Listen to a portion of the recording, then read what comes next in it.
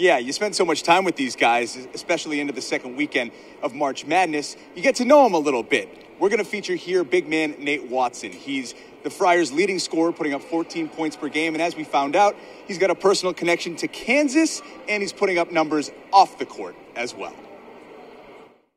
Brandon Floyd. I love it. I love the sport. I love the First time. A big man with a big personality, Providence center Nate Watson fulfilling his promise of returning for a fifth year and helping the Friars march on. Made history. We run a regular season championship. Um, you know, we, we haven't made it to Sweet 16 in 25 years, so you know I have no regrets, and I'm excited to be a Friar.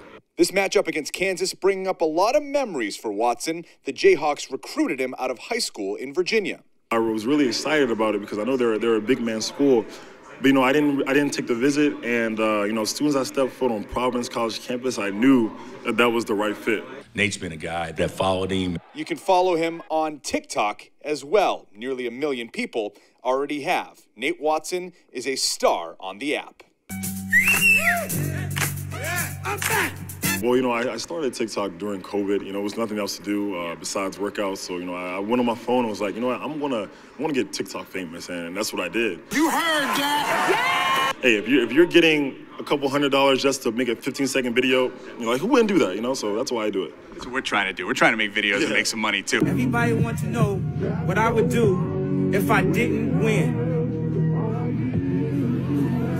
I guess we'll never know